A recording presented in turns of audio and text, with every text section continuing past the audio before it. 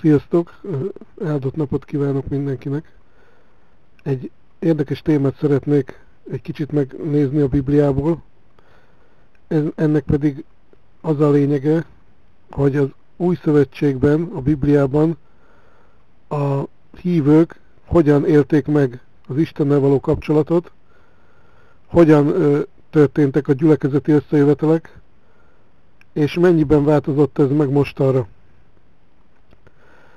Igazából kettő könyv is van, ami ezzel foglalkozik. Mind a kettő le van fordítva magyarra. Egyik ismerősöm lefordította, az egyiknek az a címe, hogy a pogány kereszténység, a másik pedig az utolsó reformáció. De a Bibliát fogom most elsősorban idézni. Foglalkozik az új szövetség azzal, hogy, hogy, hogy hogyan kell kinéznie egy hívők összejövetelének, ez az 1 Korintus levél 14. részében van, többek között, és ebből idéznék az egyszerű fordításból, ez a 1 Korintus 14.26. Amikor összejöttök, építsétek egymást. Mi hát a helyes testvéreim? Amikor összejöttök, mindegyik kötöknek, mindegyik kötök igyekezzen a többieket építeni. Egyik kötök énekeljen egy dicsőítő éneket, a másik tanítson, a harmadik mondja el, amit Isten kijelentett neki. Más valaki szolgáljon a nyelvek ajándékával, valaki pedig magyarázza meg. De mindenkinek az legyen a célja, hogy szellemileg erősítse a gyülekezetet. Ha a nyelvek ajándékával akarnak szólni a testvérek, ketten vagy legfeljebb hárman beszéljenek, de csak egymás után valaki pedig magyarázza meg. Ha nincs senki, aki meg tudná magyarázni, akkor a nyelveken szóló ne beszéljen a helyi gyülekezet előtt, hanem hallgasson, csak magában és Istennek mondja el. Két vagy három proféta szóljon, és a többiek vizsgálják és ítéljék meg, amit mondanak. Lehet, hogy miközben az egyikük beszél, valaki más is kap üzenetet Istentől. Ekkor az első szóló hallgasson el, és engedje szólni a következőt, mert valamennyien profétálhattok de csak egyik a másik után. Így mindenki tanulhat és bátorítást kaphat belőle. A proféták szellemei ugyanis engedelmeskednek a profétáknak, hiszen Isten nem a rendetlenség, hanem a békesség Istene. Így van az Isten népének minden helyi gyülekezetében. Ezen kívül itt leírja azt is az ige, hogy uh, itt a 1 Korintus 12-ben, hogy az emberi test sem egyetlen testrészből, hanem sokból áll. Ha például a láb azt mondaná, mivel nem kéz vagyok, tehát nem is tartozom a testhez, attól még valójában a láb is része a testnek, igaz? Vagy ha a fül azt mondaná, mivel nem szem vagyok, nem is vagyok a test része, akkor valóban nem tartozna a testhez. Ha az egész test csak egyetlen szem volna, akkor semmit sem hallana. Ha az egész test csak a fülbe állna, egyáltalán nem érezni az illatokat. Isten azonban minden egyes testrész beillesztett a testbe a maga helyére, és az egészet jól elrendezte. Ugye, ahogyan neki tetszett. És nem mondhatja, most kicsit kihagytam, de itt folytatódik, hogy nem mondhatja a szem a kéznek, nincs rá szükségem. A fej sem mondhatja, nem kell lesz. És tehát itt lényegében kifejti, hogy tehát ti együttesen Krisztus testét alkotjátok, ennek tagjai vagytok, és itt leírja, hogy milyen ajándékok vannak, hogy először apostolok, profétek, tanítók, vannak, akik Isten csodatevő szolgálnak, mások a gyógyítás ajándékait kapták, megint mások segítik a többieket, vagy a nyelveken szólás különféle fajtáival, kívánjátok a Szent Szellem ajándékait, és a legkiválóbb út pedig az Isteni szeretet. Tehát azt kell látni, hogy a Bibliában, az Új Szövetségben úgy van leírva, hogy összejöttek a hívők, általában ez lakásokban történt meg, vagy ilyen helyeken. Ö, volt úrvacsora, de ez nem egy ilyen vallásos szertartás volt, hanem egy, egy vacsorát, tehát volt kenyér, volt bor, és ezt megtörték, és ahogy Jézus mondta, volt úrvacsora, és ami fontos, hogy nem úgy nézett ki a dolog, mint most a gyülekezetekben, hogy egy-két ember van, van egy dicsőítés, utána meg jön egy prédikátor, vagy több, és akkor azok elmondják az üzenetet egy ilyen pulpitusról, és a többi nem tudom hány ember, 40-50-100 ember, az meg csak hallgatja passzívan. És akkor heti kétszer így összejönnek, hallgatják a tanítókat, és akkor ki van pipálva, vagy, tehát meg vannak esetleg házi csoportok, de az a lényeg, hogy az új szövetségi gyülekezetbe összejöttek, és mindegyik ember, a tagnak a részei tudta használni az ajándéket. Tehát volt, aki elkezdett énekelni nyelveken, akkor volt, aki mondott valamit nyelveken, az megmagyarázta valaki, valaki felállt elkezdett profétálni, akkor másik megítélte, a harmadik közben lelki gondozott, a negyedik éppen imádkozott valakiért, és egy ilyen élő, szövet, szö, élő közösséget kell képzelni, mint egy ilyen házi közösségben, hogy, hogy mindenkinek volt valami ajándéka, és nem mindegyik volt ö, csodatevő, nem mindegyik volt ö, apostol, proféta, de, de mindenki tudta használni. Van, aki énekelt, van, aki... Tehát ö, egy, egy élő közösség.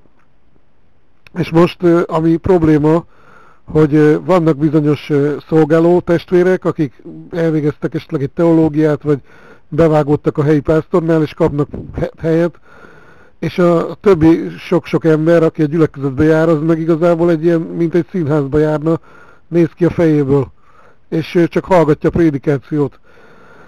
És ezért van az, hogy sokan hallgatják, hallgatják, de közben a hét, hétköznapokon meg ugyanúgy élnek. El vannak, nem történik semmi, pedig a Biblia leírja a, Márk evangéliumba is, hogy akik hisznek, azok milyen jelek követik. Tehát démonokat űznek, nyelveken szólnak, betegre teszik a kezüket, és ez nem csak az apostolokra vonatkozik, hanem mindenkire, aki hisz. És akkor ezt kimagyarázzák sokszor az emberek, hogy jó, hát nekem ez nincs az ajándékom. Én nem tudom ezeket megtenni, de ez nem külön ajándékok, hanem ez, ez a külön ajándékok, az a nyelvek magyarázata, az apostol, a profétálás, de ez nem, ezek, ezek mindenki, aki hisz, ez megteheti. Például beteg a testvéred, oda mész hozzá, imádkoztatom érted testvérem, és imádkozol érted, gyógyuljon meg. Ez nem kell külön ajándék. Vagy ilyesmi, tehát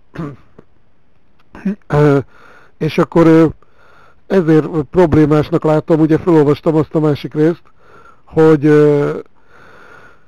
hogy a testnek sok tagja van, és nem mondhatja a lábnak a kész, hogy nincs rá szükségem.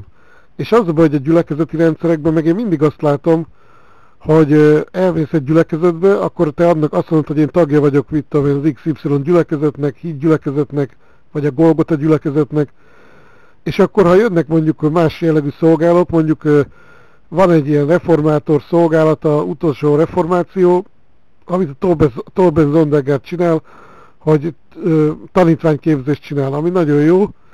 Lehet, hogy nem minden tökéletes, és vannak hibák, de alapvetően tanítványképzés, amit a Biblia mond, hogy tegyetek tanítványokká mindenkit. És akkor például erről a Torben Zondegárról, a Golgot a gyülekezetbe az egyik vezető lejáratóan elkezdi mondani, hogy ez ilyen rossz, olyan rossz, és, és mint hogyha nem is lenne testvére. Mint hogyha mondhatná ő, mint ha ő esetleg a, a kéz, akkor mondhatja a lábnak, hogy nincs rá szükség.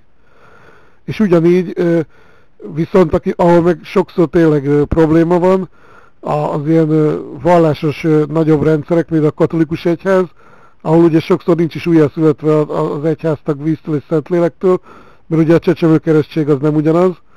A, ott meg ugye azt nem kritizálják, tehát a, a katolikus egyházat meg sokszor azt nem nagyon merik kritizálni, mert ugye sokan vannak.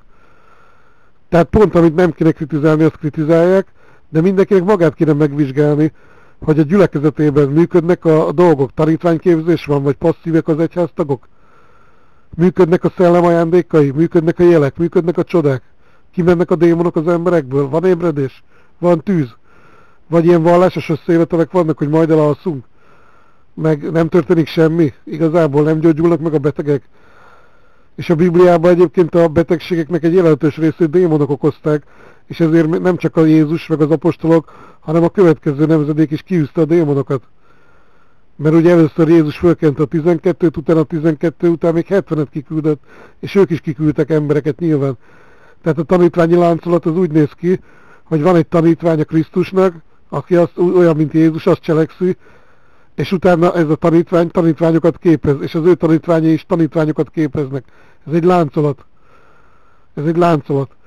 És ez, ez, nem, gyűl, ez nem, nem gyülekezetbejárásról szól, nem gyüliszténység, hanem, hanem tanítványozás. Mert a lássuk be, hogy a kereszténység az már annyira fel van higulva, hogy már mindenki kereszténynek mondja magát, lehet, hogy tobzódik a bűnökbe, lehet, hogy, hogy föl van ilyen különböző olyan oldalakon, ahol tudok ilyet is nem egyet, hogy ilyen szexpartnerkereső oldalakon van, meg ilyenek, meg hót parázna, de hogy ő keresztény. De közben lefekszik emberek. Hát ez nem kereszténység. Majd ha látjuk a gyümölcsöket, hogy, hogy, hogy ott vannak az életében a szeretet, az öröm, a békesség, és, és amikor látjuk, hogy betegekre teszi a kezét, és meggyógyulnak a betegek, akkor elhisszük, de igazából már nincs súlya szinte annak, ha valaki azt mondja, hogy keresztény. Mert annyi, annyi, annyi hülyeség van, annyi szektás hülyeség van, ugye itt vannak ezek a különböző bálványimádások, itt vannak a, a vezetők, tehát a híd gyülekezetében és a piramisrendszer, hogy a vezető ö, leuralja a gyülekezetet, passzívá teszi az emberek nagy részét azzal, hogy, hogy ilyen szolgáltajándékoknak nevezett nagy emberek leuralják a gyülekezetet, elveszik a tizedet, hogy az új szövetségben nincs tized se, tehát a tized az egy ószövetségi dolog, e, ezzel is ki, lenyúlják, a, tehát azt csinálják, hogy, hogy, hogy dolgoznak az emberek, és ezek a vezetők meg nem dolgoznak semmit, hanem, hanem heti két Isten tiszteletet megtartanak, viszont beszedik a tizedet. És ez se biblikus, mert Pálapostól azt mondta, hogy két kezével dolgozott, hogy ne legyen botránkozás. Hogy ne mondják azt, hogy ö, ö, pénzért csinálja, és, és ő sátorkészítőként dolgozott. És nem azt csinált, hogy trigli tangvízott egész nap, és heti két Isten tiszteletet csinált. Mert az kevés, tehát ö, ha, ha egy tanítványképzés kell, itt nem gyülekezeteket kell, mert, mert a, ha megnézzük az, a, a Bibliába, akkor ott ö, ö, szinte naponként összejöttek, és nagyon szerették egymást a keresztények, illetve a tanítványok. De most viszont, ha megtudja rólad mondjuk egy, ö, mit tudom én, egy kisebb gyülekezeti tag, hogy te mondjuk az utolsó reformáció mozgalom már szimpatizálsz, akkor azt mondja, én, én, én, én nem vagyok kíváncsi. Vagy, vagy híd gyülekezetes meghallja, hogy te az autonóm gyülekezetbe jársz, akkor azt mondja, hogy ó, te neked nincs rá szükségem, mi nem vagyunk egy szellembe de pont ezt mondja az ige, hogy nem mondja azt a kéz a lábnak, hogy nincs rá szükségem, mert ez bűn. Mert nem mondhatja azt egy Golgotás vezető, hogy a Torben Zondegád reformátor ugyanolyan hívőre nincsen szükség. Mert ez ugyanúgy kirekesztés és, és egy szektás dolog. Inkább, inkább mindenkinek meg kéne nézni, hogy tényleg mit tanítunk, hogy Bibliát tanítjuk, Bibliából tanítunk, vagy tradíciókat tanítunk. Mert ez a rendszer, ez a gyülekezeti rendszer, hogy heti kétszer összejövünk, és a pulpitusról hallgatjuk a tanítást, ez nem a bibliai. Ennek is van haszna, én is jártam ilyen gyülekezetekbe, jártam én a Golgotába is, és van haszna, mert az ige prédikáltatik. De ez nagyon langyos víz ahhoz képest, amit Jézus szeretne. Jézus azt mondta, hogy azért jött, hogy tüzet hozzon, és mennyire szeretné, ha már lángolna. Ő tüzes, radikális keresztényeket szeretne, tanítványokat, akik vállalják az igazságot, vállalják az üldözést, és akik tanítványokat képeznek, és konfrontálnak a sátánnal, démonokat űznek, betegeket gyógyítanak. Nem tigli-tangli világias embereket, akik szórakozni járnak, meg bulizgatni. Nem ezt akarja. Egységet szeretne, tanítványi egységet, vagy egységben legyenek a tesók. Hogy olyan legyen, mint egy igazi szent nép. A, a, amikor a abcsába olvassuk, hogy olyan dicsőséges volt a gyülekezet, hogy a világiek nem mertek szinte oda közéjük menni és hatalmas jelek és csodák történtek. Na erre van szükség, drága testvéreim. Ezért van arra szükség, hogy nem gyülekezeti tagokat kell toborozni, hanem tanítványokat. És a Biblia leírja, hogy hogyan. Tehát tanítványokat úgy lehet csinálni, hogy hirdetjük az evangéliumot, a tiszta evangéliumot, megtérnek az emberek, bemerítkeznek, meghalnak az óembernek, bemerítkeznek vízbe, utána bemerítkeznek Szent Szellembe, és utána pedig Krisztussal kapcsolatban vannak, és Krisztus fölkeni, fölkészíti őket a szolgálatra, és utána tanítványképzésre. És ez most már szerintem inkább ilyen reform mozgalmakban, házi csoportokban, még ilyen kisebb mozgalmakban van, mert a nagy gyülekezetek nagy részei, azok elvallásosodtak, alszanak, az egyháztagok azok nyomkodják a okostelefonjukat az Isten tiszteleteken, ennek így nincs sok jövője. Meg kell újulni. Legyetek áldottak, sziasztok!